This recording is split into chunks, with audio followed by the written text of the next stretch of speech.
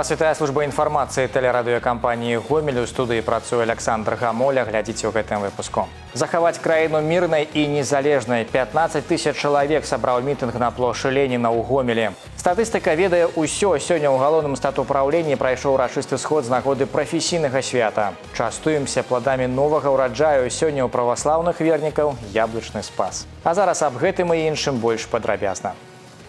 У гомелі прайшоў мітынг у падтрымку міра бяспекі і спакою на плошы леніна сабраліся людзі якія менавіта гэтыя каштоўнасці лічаць галоўнымі ў дзяржаўнай палітыцы і грамадскім жыцці усе хто прысутнічаў тут маюць патрэбу выказаць сваю думку і паказаць стаўленне да сітуацыі якая склалася ў беларусі людзі ўпэўнены ім не патрэбна рэвалюцыя і раздзяленне суайчыннікаў на сваіх і чужых у ім ёсць магчымасць спакойна жыць і працаваць на сваёй роднай зямлі яны хочуць каб іх голасу чулі апазіцыю ведалі. Яе не знойдзеш у інтэрнэце людзям, якія занятыя сваёй справай проста некалі весці там спрэчкі.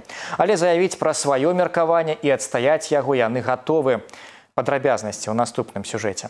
Коротко атмасферу на мітынгу можна апісаць адным словам горача каля 15 тысяч людзей розных узростаў прафесій і нават нацыянальнасцей сабраліся на гомельскай плошчы леніна каб сцвярдзіць сваю пазіцыю увага да падзеі каласальная яе асвятляюць дзяржаўныя і недзяржаўныя сМ былі сярод прысутных людзі якія не раздзялялі святочны настрой і тых хто жадаў паспрачацца але было відавочна тых хто прыйшоў падтрымаць дзеючага прэзідэнта на парадак больш да адкрытага мікрафону падыходзілі сем'і настаўнікі ваенныя рабочыя усе как каго зараз перапаўняюць эмоцыі і жаданне выказацца аб сітуацыі ў краіне яна па-сапраўднаму турбуе мне страшно мне страшно когда я ложу своих детей спать что в окно сейчас залетит какой-то камень или еще что-то страшнее я хочу жить в мирной спокойной процветающей белоруссии и раз уж меня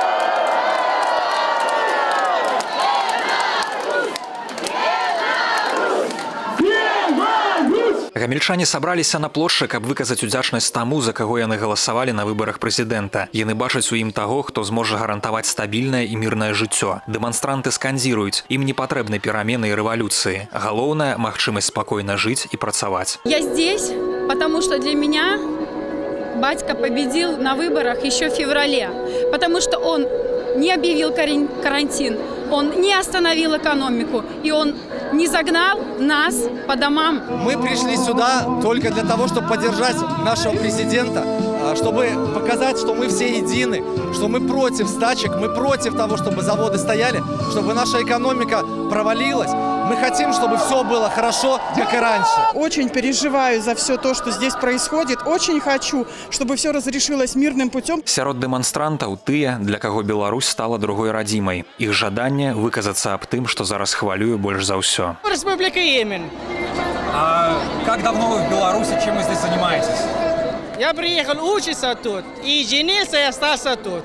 И начался у нас такая революция, как сейчас.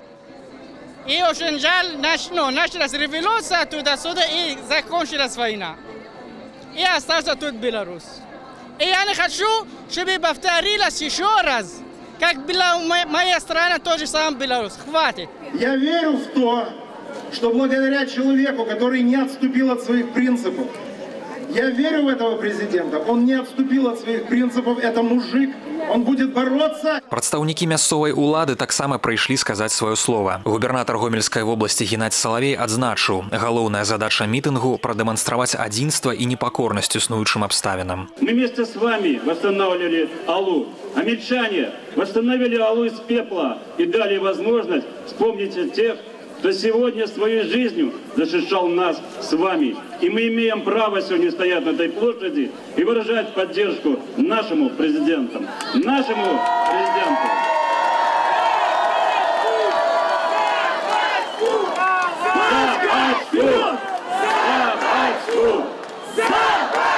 Мы едины. Наша общая цель – богатая, счастливая, безопасная, мирная Беларусь. Уважаемые друзья, вы знаете, какая поддержка идет со стороны государства нашему региону.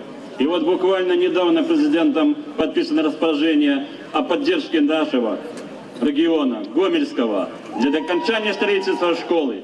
И эта поддержка ощущается в его отношении к нам, гомельчанам. И теплые слова поддержки мы всегда слышим, потому что Гомельщина была подвержена более, чем другие регионы. Поэтому мы за нашу сильную, процветающую Беларусь, и за вас, гомельчане, и за наших белорусов. Народ на цэнтральнай плошчы горада голасна заявіў, яму патрэбна стабільнасць і мірнае неба над галавой. Што як не спяванне хорам дзяржаўнага гімна можа аб'яднаць беларусаў, мірных людзей. Наша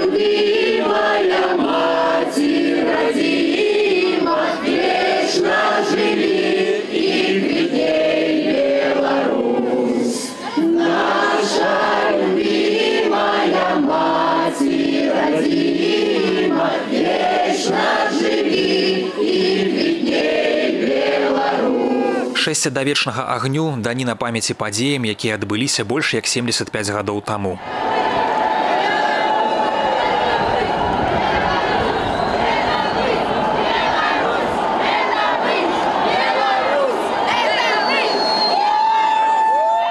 Плюралізм думак аснова свабоднага грамадства. Ва ўмовах складанага ўнутрыпалітычнага становішча людзі імкнуцца сцвярдзіць сваю грамадзянскую пазіцыю. Іх хвалюе лёс роднага краю. Яны хочуць гаварыць аб гэтым, ім патрэбна падтрымка. Беларусы хочуць разумець, што яны не адзінокія ў сваіх імкненнях, што іх шмат і разам яны здольныя нешта змяніць. Сітуацыя ў краіне няпростая, таму галоўнае, каб мітынгі былі не супраць кагосьці, а за мір і росквіт нашай краіны. Важна, каб меркаванне народа ў незалежнасці ад поглядаў было па-за сілавых новых рашэнняў праблем. Мікалай Скінціян, Валеры Гапанько, Сергей Лукашук, тэлерадыёкампанія Гомель. Віншаванне з векавым юбілеем 23 жніўня органам беларускай статыстыкі спаўняецца 100 гадоў. Напярэдадні прафесійнага свята супрацоўнікаў галоўнага статыстычнага ўправлення гомельскай вобласці запрасілі на ўрачысты сход. Па словах кіраўніцтва рэгіянальнай структуры гэты і мінулы год сталі асабліва значнымі для работнікаў статыстыкі. Падчас леташняга перапісу насельніцтва ўпершыню так масава выкарыстоўваліся лічбавыя тэхналогіі, якія паскорылі і палегчылі падлік дадзеных. У перапісчыкаў былі не лісты паперы, а планшеты, а любы жадаючы мог прайсці працэдуру самастойна праз інтэрнэт. Канчатковыя вынікі перапісу стануць вядомымі ў верасні, дадзеныя па сельгасапытальніках у наступным годзе. Супрацоўнікі ўправлення статыстыкі людзі са сапраўды адданыя сваёй справе многія тут працуюць усё сваё жыццё а прафесію перадаюць по дынастыі у нас на сегодняшний день более 30 лет работает в управлении 17 человек и более 20 лет работает 22 человека. Это говорит о том, что э, людям очень нравится эта работа, э, потому что в первую очередь это серьезная, кропотливая э, аналитическая работа. Э, работа с цифрами, она требует усидчивости и, конечно же, ответственности, потому что за э, каждой цифрой э, Конечно же, тот результат работы организаций, предприятий и в целом нашей экономики. Ну и вообще статистика это что? Статистика это зеркало экономики. Это зеркало экономики, которое отражает реальное положение дел, в экономике и в развитии нашего общества. Павіншаваць калектыў з юбілеем на ўрачысты сход прыехалі губернатар в области Геннадзь Салавей і старшыня гарвыканкама Пётр Кірыченко. За шматгадовую адданую працу супрацоўнікаў узнагародзілі ганаровымі граматамі і падзякамі. Абласная арганізацыя чырвонага крыжа падарыла першыя партфелі ў рамках рэспубліканскай дабрачыннай кампаніі збяром дзяцей у школу. Валанцёры разам з нераўнадушнымі гамяльчанамі сабралі канцелярскія прыналежнасці і школьную форму для вучняў вучняў. Сегодня их вручили детям с малозабеспеченных сем'яў. Государством выделяется э, необходимая сумма, ну это в зависимости от потребностей, наверное, многодетной семьи, я знаю, от 60 рублей там, до 90 и более, э, если действительно семья в ней нуждается. И сегодня государство мониторинг проводит каждой многодетной семьи, малообеспеченной, э, с чем же пойдут дети в школу, как они пойдут, какие э, у них нужды. Вот, поэтому Поэтому и государство, и общество заботятся про наших малышей, которые отправятся и в первый класс, и в десятый, и в одиннадцатый. Кампания «Збяром дзяцей у школу» працягваецца. У гэтым годзе валанцёры Гомельскай вобласці плануюць рушыць не менш як тысячу портфеляў. Для аказання дапамогі праводзіцца збор школьнага адзення і абутку пісьмовых і спартыўных прыладаў. Перадаць рэчы можна як у раённай арганізацыі чырвонага крыжа, так і пакінуць у спецыяльных кантэйнерах. Яны размяшчаюцца па адрасах, пазначаных на экране. Пытанні падрыхтоўкі да школы будучых першакласнікаў сёння былі на парадку дня пасяджэння актывістак беларускага саюза жанчын. Яе удзельніцы абмяркоўвалі ўдзел у маштабнай акцыі збяром портфель першакласнікаў, а таксама ідэі правядзення дня маці. У цэнтры ўвагі арганізацыі тэма здараўлення і працаўладкавання жанчын. У гэтым накірунку арганізацыя працуе пастаянна. Напрыклад, у лютым гэтага года саюз жанчын арганізаваў планавае медыцынскае абследаванне супрацоўніц трох гарадскіх арганізацый. Гэта гомельскі калеж мастацтваў імя Сакалоўскага, прадпрыемствы 8 сакавіка и Любна. Согласитесь, не всегда женщина может уделить себе внимание. Она работает, например, на предприятии в две смены. И, конечно, записаться некогда, да и вообще не всегда как-то обращают на себя внимание. А в данном случае мы помогаем, мы договариваемся с поликлиниками, закрепляем конкретное время, даем. И очень много слов благодарности было от наших женщин, которые говорят спасибо огромное. Вядучыя трэнеры Беларусі праводзяць у гомелі семінар для юных тэнісістаў. Мерапрыемства накіравана на падтрымку алімпійскага руху, масавае развіццё спорту, павышэнне ўзроўню майстэрства спартсменаў. У праграме лекцыі практычныя заняткі з лепшымі педагогамі педагогамі краіны. Вераніка Гамзюкова валодае падрабязнасцямі. На кортах гомельскага абласнога цэнтра алімпійскага рэзерву па тэнісе шматлюдна. Тут сабраліся спартсмены ад 8 до 12 гадоў, іх бацькі і трэнеры. Маштабны семінар ладзяць прадстаўнікі нацыянальнай акадэміі тэніса. У праграме лекцыі о псіхалагічных аспектах падрыхтоўкі юных спартсменаў, асаблівасцях харчавання і фармакалагічнай падтрымкі. Практычныя заняткі і майстар-клас для дзяцей праводзяць трэнеры Алексей Никулин, Александр Буры и Максим Лынша. Мы делаем очень большое дело, мы везем что-то новое, что-то практическое практически значимое для детей, которые занимаются теннисом. Ну и любое, в общем-то, общение позволяет совершенствоваться, позволяет двигаться вперед и позволяет продвигать э, наш теннис на более высокий уровень. Гомельская школа является лидером в Республике Беларусь, одна из лучших э, спортивных школ. Работа построена на должном уровне, есть хороший резерв. Главное, конечно, общими усилиями довести до э, тех результатов, которые бы были значимы. Ранее спортсмены-регионалы, которые хотели расти в профессийном плане, часто переезжали в столицу. Там и инфраструктура лепш, и тренеры больше опытные. Ситуация в нашей области начала изменяться с середины 2000-х. У 2007 году у Гомелі з'явився сучасний центр Олімпійського резерву, де юные спортсмены могут отточивать свои навыки. Представники национальной теннисной академии отзначают, что сегодня Гомельская теннисная школа одна из лепших в Украине и соступает только Минску. Детей знают не только на республиканском, но и на международном уровне.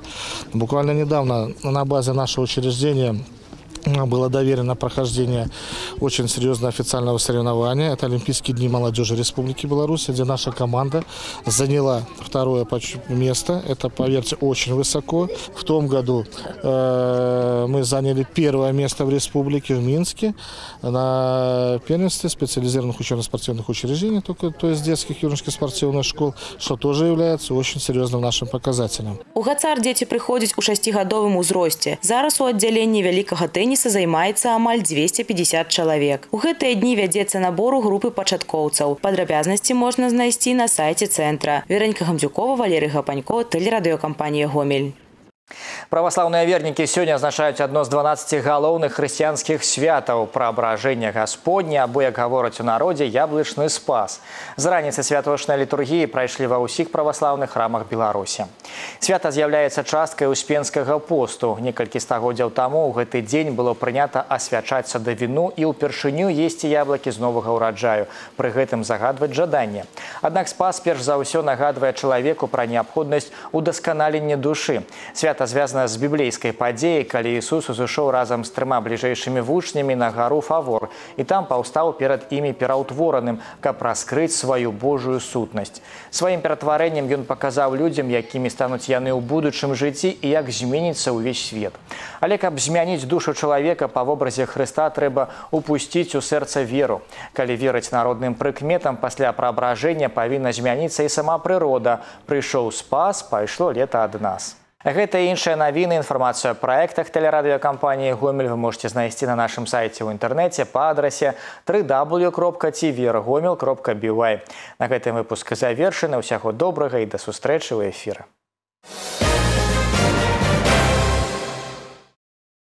Эфир телеканала «Беларусь-4» продолжает де-факто. В студии Николай Скинтиян. Здравствуйте. Управлением Следственного комитета по Гомельской области завершено расследование уголовного дела в отношении 25-летнего жителя Гомеля, который обвиняется в совершении ряда преступлений. Молодой человек подрался с сожителем своей бывшей девушки, нанес ему множество ударов, три из которых ножом, а потом избил и экс-возлюбленную. Как рассказали в Следственном комитете, потасовка возникла после того, как обвиняемый в нетрезвом виде и в компании своего знакомого пришел к квартире своей бывшей девушки. Стал ломить ломиться в дверь.